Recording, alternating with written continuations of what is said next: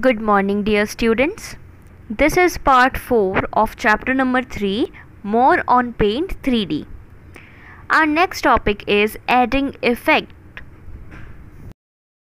First of all, you have to add a shape on the canvas. For that, click on 3D shapes, which is there on the top menu.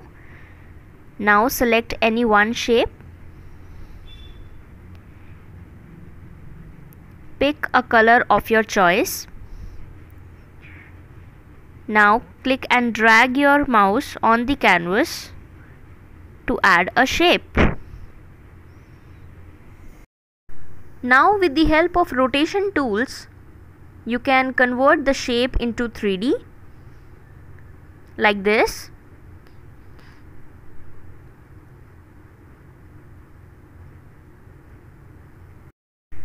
Now to add effects, click on the effects icon on the top menu. Here it is. After clicking on it, the effects panel will appear on the right hand side. Select a filter of your choice from filters. You can enhance or lighten the effect by rotating the sun icon on the effects panel like this.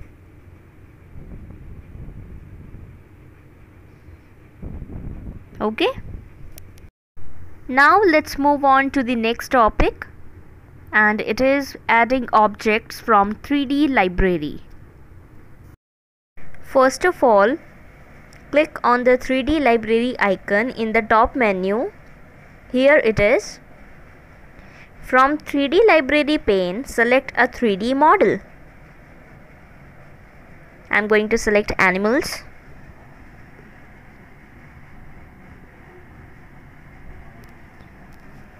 Select any one animal of your choice.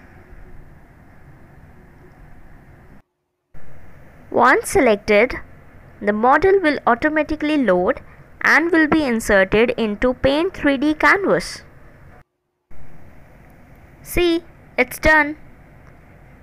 You can rotate your object by using rotation tools like this